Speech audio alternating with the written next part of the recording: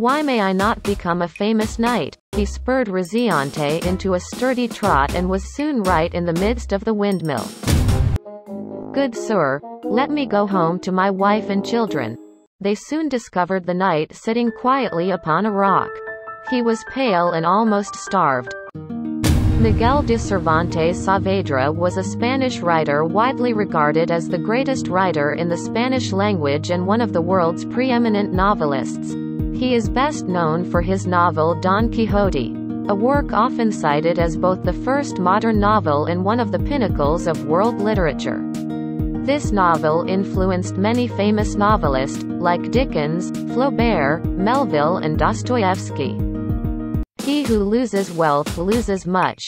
He who loses a friend loses more, but he that loses his courage loses all. Now let's get started. Many years ago there lived in Spain a very old-fashioned gentleman. His name was Don Quixote. He was gentle and kind, and very brave.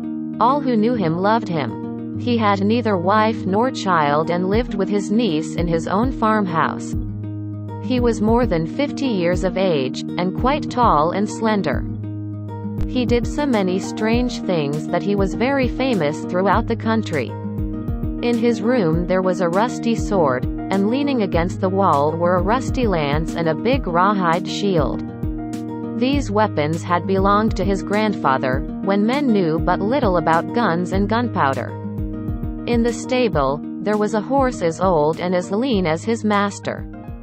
Like many other gentlemen, he did not work much. He spent almost all his time in reading and reading and reading. He often forgot his meals. He read no histories nor books of travel. He cared nothing for poetry or philosophy. His whole mind was given to stories, stories of knights and their daring deeds. One day this old-fashioned gentleman said to himself, Why should I always be a plain farmer and sit here at home? Why may I not become a famous knight? The more he thought about this matter the more he wished to be a hero like those of whom he had read in his books. Yes, I will be a knight, he said to himself. My mind is fully made up. I will arm myself in a coat of mail. I will mount my steed. I will ride out into the world to seek adventures. So he began at once to get ready for his great undertaking. In the garret of his house there was an old coat of mail. It had lain there among the dust for a hundred years and more. He cleaned it as well as he could, and polished it with great care. To be prepared as half the victory. And now a steed must be provided. For every knight must have a noble horse.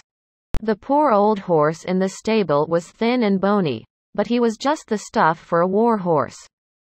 As Don Quixote looked at him he fancied that no steed had ever been so beautiful or so swift. He spent four days in studying what he should call his steed. At last he said, I have it. His name shall be Rozinante.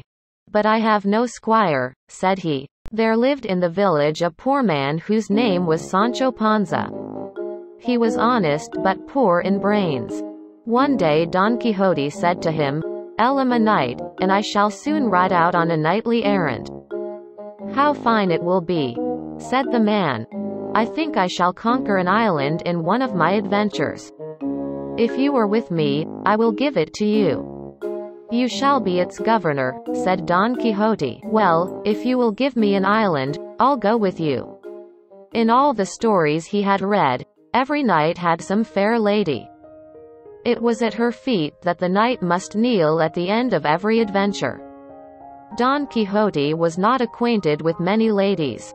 But at length he remembered a beautiful maiden who lived in the village of Toboso. Many years ago she had smiled at him as he was passing her on the road. He had not seen her since she had grown up, but she must now be the most charming of womankind. Her name shall be Lady Dulcinea, no other name is so sweet, said he.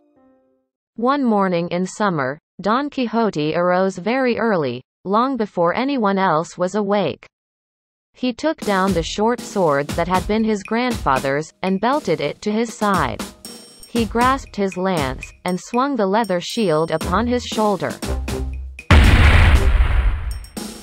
The knight and squire stole silently away from the village without bidding good-bye to anyone. The two travelers rode onward across the plains, and both were silent, for they had high purposes in view. At length Sancho Panza spoke. I beseech you, Sir Knight Errant, be sure to remember the island you promised me. Don Quixote answered with becoming dignity. Friend Sancho, you must know that it has always been the custom of knights errant to conquer islands and put their squires over them as governors. Now it is my intention to keep up that good custom. You are indeed a rare master, said Sancho Panza. Well, I am thinking I might even improve upon that good custom, said Don Quixote. What if I should conquer three or four islands and set you up as master of them all? You could do nothing that would please better, answered Sancho. While they were thus riding and talking, they came to a place where there were a great many windmills. There seemed to be thirty or forty of them scattered here and there upon the plain. And when the wind blew, their long white arms seemed to wave. Don Quixote drew rein and paused in the middle of the road. There, there, he cried. Look there, Sancho. I see at least thirty huge giants, and I intend to fight all of them. What giants? asked Sancho Panza. Why, those who are standing in the fields just before us, answered the knight. See their long arms. I have read that some of their race had arms which reached more than two miles. Look at them better, master, said Sancho. Those are not giants. They are windmills. The things which you call arms are sails, and they flap around when the wind blows. Friend Sancho, said the knight, very sternly, it is plain that you are not used to adventures. I tell you those things are giants. If you are afraid, go and hide yourself and say your prayers. I shall attack them at once. He who loses wealth loses much. He who loses a friend loses more. But he that loses his courage loses all. Without another word he spurred Rozinante into a sturdy trot and was soon right in the midst of the windmill. At that moment the wind began to blow and all the mill sails were set moving. They seemed to be answering his challenge. Then he couched his lance. He covered himself with his shield. He rushed with Rozinante's utmost speed upon the nearest windmill. The long lance struck into one of the whirling sails and was carried upward. It was whirled into the air and broken into shivers. At the same moment, the knight and his steed were hurled forward and thrown rolling upon the ground. Sancho Panza hurried to the place as quickly as his donkey could carry him.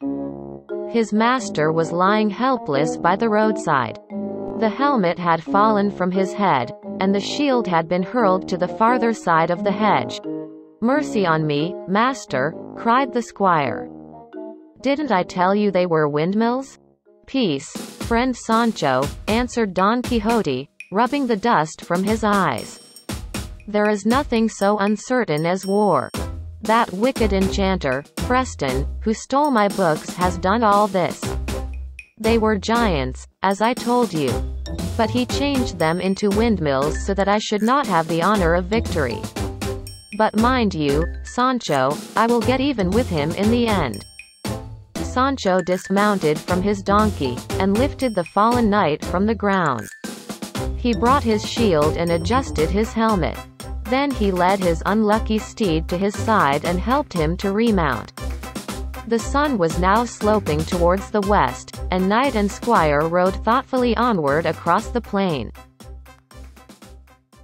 One day as they passed the crest of a hill, they saw a great cloud of dust rising in the road at some distance below them. Don Quixote's eyes flashed with excitement as he watched it. The day has come, Sancho, he cried. The day has come that shall bring us good fortune and happiness. Now I shall perform an exploit that will be remembered through the ages. Don't you see that cloud of dust, Sancho? I see it, brave master, answered the squire. Well, that dust is raised by an army that is marching this way, said Don Quixote. It is a mighty army made up of many nations. Our duty is plain, answered the knight. What ought we to do but aid the weaker and injured side? Sancho cried, Not a man nor a knight can I see either in this cloud of dust or in that. Indeed, answered Don Quixote, but don't you hear their horses neigh, their trumpets sound, their drums beat? Not I, said Sancho. I open my ears very wide, and I hear nothing but the bleating of sheep. And now the flock was drawing very near to them, and the sheep could not only be heard, but plainly seen. Then he couched his lance, set spurs to Rozinante, and rushed onward like a thunderbolt to meet the nearest flock. Sancho Panza looked him in amazement. Come back, sir, he cried. Are you mad? Those are sheep, and neither pagans nor Christians. Come back, I say. But Don Quixote did not hear him. He rode forward furiously. Courage, brave knights, he shouted. March up, fall on, the victory is ours. In order to attain the impossible, one must attempt the absurd. The men who were driving the sheep called out to him, but he would not listen. He rushed madly this way and that. The sheep were trampled upon in a most terrible manner. Where is the general of this army? cried Don Quixote. The shepherds were now greatly alarmed. They ran forward and began to throw stones at the knight. Some of these, as big as a man's fist, flew close about his ears. Some fell upon his shield, and others struck the back and sides of unhappy Rozinante. Where is the general? He cried again. But just at that moment a stone struck him in the side with such force as almost to break his ribs. He fell from his horse and lay upon the ground as though dead. The shepherds got their flocks together and hurried away with all speed. Sancho hastened to his aid. Ah, master, he cried, this comes of not taking my advice. Did I not tell you that it was a flock of sheep and no army? Don Quixote groaned and sat up. Friend Sancho, he said, it is an easy matter for enchanters to change the shapes of things as they please. Sancho helped his master to climb again upon the back of gentle Rozinante, and then he remounted his donkey. My trusty Sancho, go ahead, said Don Quixote. I will follow you. Sancho obeyed, and led the way, keeping to the road which passed over the hills. Day after day, the two travelers rode along, rambling here and there wherever they want to wander. See there, master, said Sancho. See those poor fellows who are being taken away to serve the king in the galleys. Why are they being treated in that ugly fashion? asked Don Quixote, reining in his steed. Well, they are rogues, was the answer. They have broken the law and been caught at it. They are now on their way to the king's galleys to be punished. If that is the case, said Don Quixote, they shall have my help for I am sworn to hinder violence and oppression. But these wicked wretches are not oppressed, said Sancho. They are only getting what they deserve. Don Quixote was not satisfied. At any rate, they are in trouble, he answered. Soon the chain of prisoners had come up. Pray, sir, said Don Quixote to one of the mounted men who was captain of the guards. Why are these people led along in that manner? They are criminals, answered the captain. They have been condemned to serve the king in his galleys. I have no more to say to you. Well, I should like to know what each one has done, said Don Quixote. I can't talk with you, said the captain. But while they rest here at the top of the hill, you may ask the rogues themselves, if you wish. Don Quixote was much pleased. He rode up to the chain and began to question the men. Why were you condemned to the galleys, my good fellow? he asked one of the men. Oh, only for being in love, was the careless answer. Indeed, cried Don Quixote. If all who are in love must be sent to the galleys, what will become of us? True enough, said the prisoner. But my love was not of the common kind. I was so in love with a basket of clothes that I took it in my arms and carried it home. I was accused of stealing it, and here I am. Don Quixote then turned to another. And what have you done, my honest man? He asked. Why are you in this sad case? I will tell you, answered the man. I am here for the lack of two gold pieces to pay an honest debt. Well, well, that is too bad, said the knight, I will give you four gold pieces and set you free. Thus Don Quixote went from one prisoner to another, asking each to tell his history. By this time the guards had given the command and the human chain was again toiling slowly along over the hill. Gentlemen of the guard, I am the renowned Don Quixote. I command you to release these poor men. If you refuse, then know that this lance, this sword, and this invincible arm will force you to yield. That's a good joke, said the captain of the guard.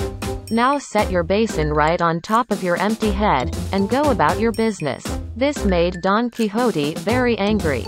And he charged upon him so suddenly and furiously that the captain had no time to defend himself, but was tumbled headlong and helpless into the mud the other guards hurried to the rescue. They attacked Don Quixote with their swords and clubs. And he, wheeling Rocinante around, defended himself with his heavy lance.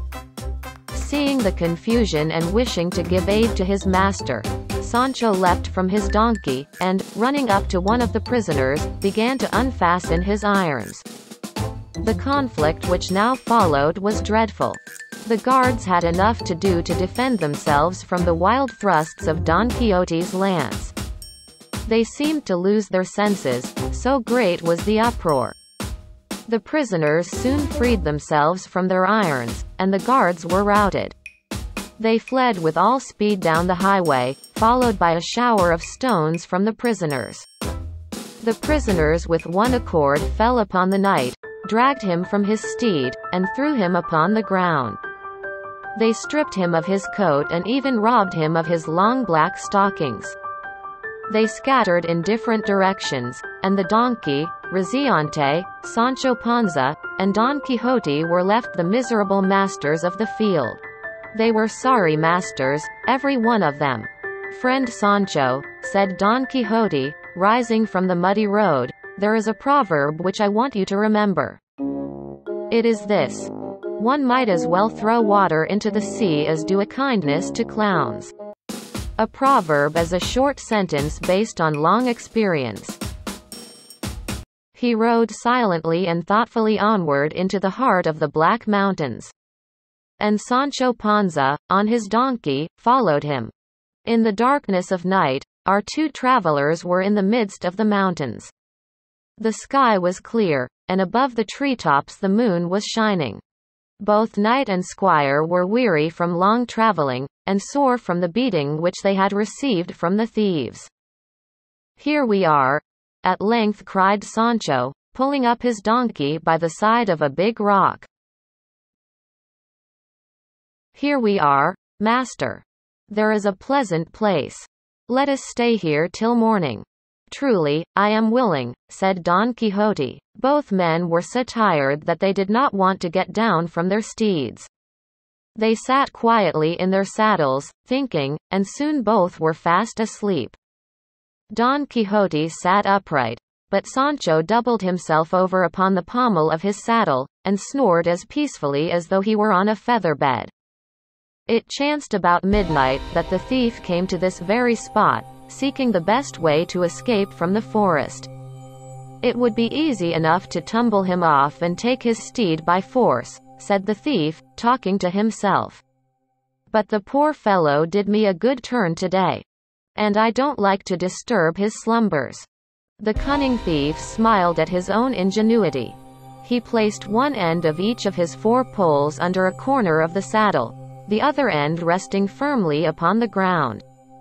The thief led the donkey out from under, leaving the saddle and Sancho high up in the air. It was a funny sight, there in the still light of the moon, and the cunning man looked back and laughed. He then threw himself upon the donkey bareback and rode joyfully. Where is your donkey, friend Sancho? Don Quixote asked, looking quickly around. My donkey gone. Some thief has led him away in the night, and left me nothing but four sticks and the saddle. Thief, indeed, said Don Quixote. It was no thief. Those same wicked enchanters have done it. They have changed the poor beast into four sticks. And now you will have to walk until we learn how to remove the enchantment and change the sticks back to a donkey. Sancho Panza was sorely distressed. He looked at the saddle and at the sticks, and then at the tracks which the donkey had left in the dust of the road. Tears came to his eyes, and he broke out into the saddest cry that ever was heard. Oh, my donkey! Oh, dear one! You were the playfellow of my children, the comfort of my wife, the envy of my neighbors. And now, you are gone, you are gone. Oh, my donkey! How can I live without you? Don Quixote's kind heart was touched. Never mind, dear Sancho, he said.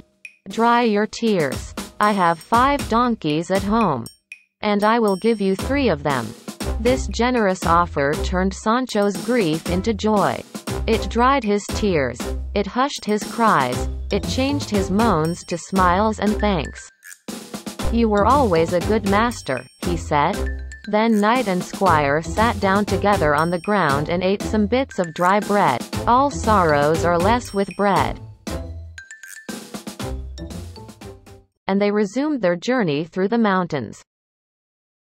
Don Quixote rode in advance, and Sancho followed slowly with the donkey saddle astride of his shoulders. All day long Don Quixote and his squire toiled wearily and slowly through the wildest part of the mountains. Sancho Panza, with the saddle on his shoulders, trudged silently at the heels of Rocinante, and was very tired. Good sir, let me go home to my wife and children. I want to see them. I tell you, this tramping over hills and valleys, by night and by day, is too hard for me. I cannot endure it. Friend Sancho, I understand you, answered Don Quixote, but listen to me, I have a plan to tell you. Then he explained to the squire that it was his intention to send him at once to Toboso to carry a letter to the lady Dulcinea. I will write it immediately, said Don Quixote. And please, sir, said Sancho, do not forget to write that order to your niece for those three donkeys which you promised me. Sancho took the letter and put it carefully in his waistcoat pocket. Now you may start at any time, said Don Quixote, and as you are very poor at walking, you may take Rocinante with you. He will carry you with great safety and speed. Very well, master, said Sancho, but what will you do while I am gone? Oh, you need not go to any trouble about it, said Don Quixote. But tell me, good master, said Sancho, what will you do for food when I am gone? Don't worry about that, Sancho, said his master. I shall eat the herbs and fruits of the forest, and want nothing more. While there's life there's hope. Be good to the noble steed, said Don Quixote. Remember to be as kind to him as you have been to his master. Indeed, I will not forget, said Sancho. Don Quixote watched him until a turn of the road hid him from sight. Then he wandered into the wildest part of the woods to seek another adventure. To dream the impossible dream, that is my quest. The next day as Sancho Panza was traveling slowly along the highway, he came to a little inn. Presently, two men came out, and when they saw him at the gate, they paused. Then one said to the other, Look there, isn't that Sancho Panza? Surely it is, said the other, and he rides Don Quixote's horse. Now these two men were the curate and the barber of Don Quixote's own village. They knew more than anyone else about the man's malady. They were now going through the country in search of him, for they wished to persuade him to return to the care of his family and friends. Where is your master, Sancho? Where is Don Quixote? They asked. My master is engaged himself in some important business of his own, answered Sancho. I don't know where my master is at this moment, but I left him in yonder mountain, knocking his head against the trees, tearing up rocks, and doing a thousand queer things. Then he told the whole story, adding to it a great many fanciful touches of his own. And now, he said, I am on my way to Toboso, where I mean to give my master's letter into the hands of Lady Dulcinea. Let us see the letter, said the barber. Sancho put his hand into his pocket to get the letter. But he could not find it. It had slipped through a hole in his pocket and was lost in the dust of the highway. He turned pale, and his hands trembled. Then he began to stamp like a madman. He tore his beard. Why need you be so angry, Sancho? Asked the curate, kindly. What is the matter? I deserve the worst beating in the world. He answered, For I have lost three donkeys which were as good as three castles. I have lost the letter to Dulcinea. And I also lost an order on Don Quixote's niece for three of his five donkeys. Then with tears and sobs, the poor man told them how he had recently lost his own donkey. Cheer up, Sancho, said the curate. We are going to find your master. What concerns us now is to find your master and persuade him to give up his mad projects. So, come into the inn with us, and we'll talk it over while we eat dinner. Presently a dish of hot meat was sent out to him, and he feasted as if he had not feasted for many a day. Hunger is the best sauce in the world. The curate and the barber came riding out from the inn yard, ready to begin the journey. They finally reached the place where Sancho left Don Quixote behind. It was right about here that I left him, Sancho said. And sure enough, they soon discovered the knight sitting quietly upon a rock.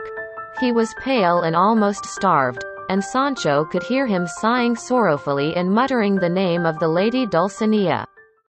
The curate and the barber were so disguised that Don Quixote did not know them. By the ingenious trick, they induced Don Quixote to put his armor again and ride out of the forest.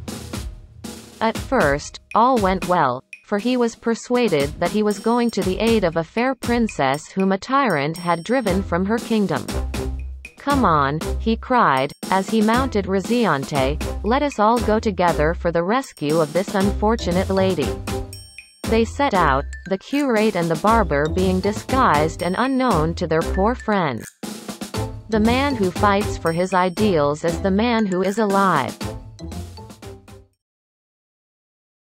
The next day, when the party was well out of the mountains, they suddenly saw at a turn in the road, a stranger riding slowly along at a little distance ahead. He was mounted upon a small donkey. Sancho Panza's eyes opened very wide. For at the first glance he knew that the donkey was his own long-lost Dapple. The next moment he was running to overtake the thief and the donkey, and Sancho was soon beside them. Get off from the back of my dear donkey, shouted he. Away from my Dapple. He had no need to use so many words. For the thief, seeing several men so close upon him, dismounted quickly and took to his heels. No doubt he thought that the king's officers were after him, for he bounded into the woods, and was soon out of sight. My treasure, my darling, my dear Dapple. Is it possible that I have you again? How have you been since I saw you last? He cried. The rest of the company rejoiced at the squire's good fortune, and Don Quixote said, I am glad that you have found your donkey, Sancho, but it shall make no difference with the order. My niece will give you the three donkeys, just the same. I thank you, sir, said Sancho. You are always a kind master. They were still far from their home village, and Don Quixote's malady grew worse every day. At length, the curate and the barber were forced to find some other plan by which to carry him home. They stopped at an inn. Late in the evening, as he lay quietly sleeping in his room, a number of strangely dressed men opened the door and stole in. They had masks on their faces. They wore long, white robes and their appearance was very frightful indeed. They were the curate and the barber and the other guests of the inn, but they were so disguised that not even Sancho could have guessed who they were. When Don Quixote saw the white-robed figures standing by his bedside, he sat up very quietly, and said not a word. He felt sure that he was now in an enchanted castle, and that these figures were ghosts and hobgoblins. He knew that it was useless to fight with such creatures. Therefore he quietly gave himself up, and made no resistance. The ghosts lifted him out of bed. Then they carried him out and put him in the wooden cage which stood ready at the door. The ox cart was waiting in the courtyard of the inn. The men lifted the cage upon it very gently and shut it fast. The wagoner cracked his whip, and the oxen began to move slowly towards the great gate. Don Quixote was not altogether displeased. In all my books, I never read of a knight-errant being drawn in a slow-moving ox cart, he said. Having said this, he became very quiet, and did not speak again for a long time. It was about noon of the sixth day when they reached their home village. It was Sunday, and nearly all the people were on the street. When the ox cart was seen, it was at once surrounded by a crowd of men and boys. All wanted to know what kind of beast it was. What was their surprise, however, when they saw no beast at all, but only their honored neighbor and friend. Don Quixote was lying on the hay and taking but little notice of anything around him. The village seemed strange to him, and the faces of his friends were unknown and unrecognized. The ox cart reached the door of Don Quixote's house. The curate and the barber lifted the poor knight from his bed of hay, and carried him into his own room. He was as helpless as a child, and neither spoke nor attempted to move. The housekeeper and the niece undressed him and put him in his old bed. He lay there, looking at them curiously. Their faces seemed altogether strange to him. He could not imagine where he was. One by one, the good man's neighbors and friends returned to their homes. Sancho Panza, with his donkey, went back to his own dwelling. And Don Quixote once more slept quietly beneath his own roof. The pen is the tongue of the soul. Please subscribe to my channel. We're gonna show you world masterpieces in about 15 minutes with manga. Manga is Japanese-style comics that is easy for everyone to understand. We're sure that you can grasp the context shortly. See you next time.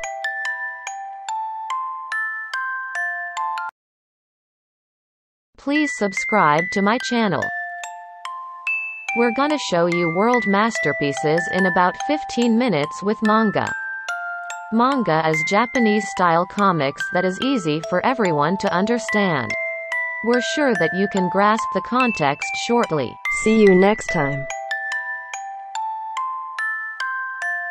Please subscribe to my channel. We're gonna show you world masterpieces in about 15 minutes with manga. Manga is Japanese-style comics that is easy for everyone to understand. We're sure that you can grasp the context shortly. See you next time.